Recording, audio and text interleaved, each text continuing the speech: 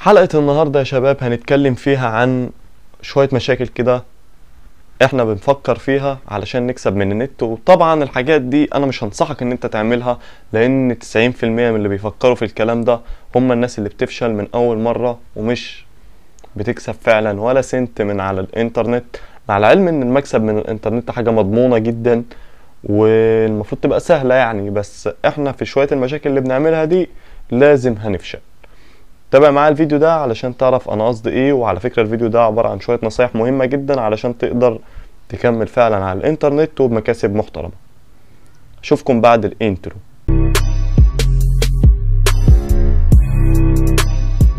السلام عليكم ورحمة الله وبركاته. معاكم محمد جمال من قناتكم تشتري EG المصري. النهارده هنتكلم زي ما عرفنا في الأول عن شوية حاجات كده إحنا فاهمينها غلط في حتة إن إحنا نكسب فلوس من الانترنت والكلام ده. إيه هي الحاجات دي؟ وهنستفيد إز- إيه يعني لما تعرفها؟ أول حاجة أنت لو ما تعرفش الحاجات دي هتقع فيها بسهولة جدا. أول حاجة لو أنت مش هتعرف الحاجات دي هتفضل واقف لحد ما يجيلك الوقت إن أنت تفهمها وتقدر بعدها تكمل. أول حاجة بلاش فكرة إن الشغل على الإنترنت حاجة سهلة. على فكرة يا شباب في أوقات معينة الشغل بيبقى على الإنترنت أصعب من الشغل في الحياة الفعلية. هنفهمها. أنت على الإنترنت منافستك عالمية. انت بتبقى مع منافسة مع كل العالم. منافسة مع كل اللي حاول يشتغل في المجال بتاعك. فلازم يبقى انت فاهم كويس أوي شغلك علشان شغلك اونلاين غير شغلك في شركة أو شغلك في محل.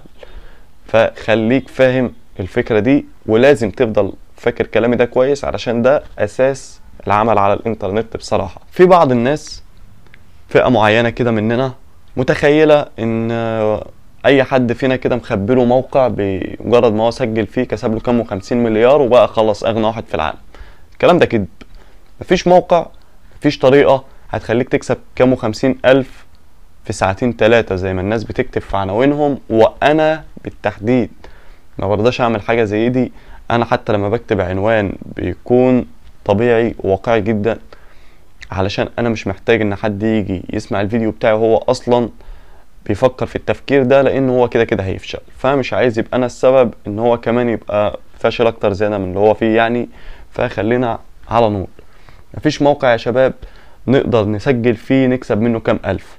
الكلام ده ما هو إلا كذب. مفيش أقسم بالله ما في أي حاجة كده ومفيش أي أسلوب في العالم يخليك تكسب كام ألف في ساعة ولا ساعتين إلا بالاستمرارية وإن أنت يكون عدى عليك فترة كبيرة جدا في نفس المجال فكده تقدر تكسب المبالغ دي فعلا. وهتقدر تعمل كده. في ملحوظة برضو حابب أتكلم فيها. مفيش مشكلة من الفشل. لو أنت فشلت في أول الطريق دي مش نهاية الطريق على فكرة. بالعكس أنت كده في الطريق الصح. لأن أنت لما هتفشل في أول الطريق هتكمل. أنا عارف إن أنت هتكمل. فلما تفشل في أول الطريق وتكمل أحسن ما تفشل في آخره وتقف. مفيش مشكلة.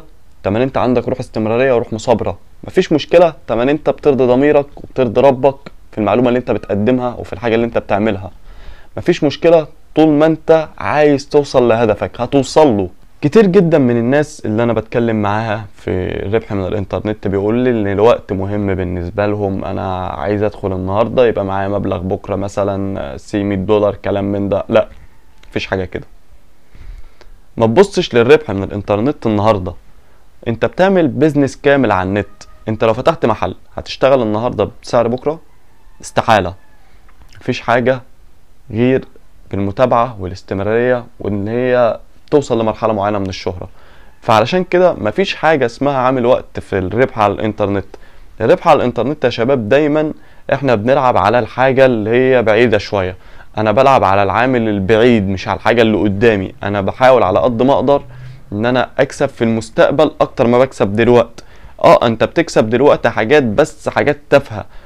أنا فعليا أول ما فتحت مدونة المصري تشتري EG dot com كنت بكسب بس تمن ال domain يعني ما كنتش باخد منه مليم من جيبي. حاليا فعليا بدأ الموقع إن هو يتطور ويجيب لي أكتر من كده.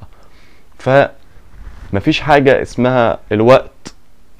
النهاردة عندي كذا بكرة هيبقى معايا كذا فبعده هبقى بكذا لا الوقت دايما في صالحك أنت. الوقت لازم تستثمره كويس. لازم تخلي وقتك منظم. إن أنت على قد ما تقدر تدي معلومات وتدي اللي أنت تدي للمجال بتاعك الاهتمام الكافي علشان الوقت كده كده طول ما هو بيعدي طول ما أنت متجه صح للمكان اللي أنت تكسب منه فعليا مبالغ كويسة.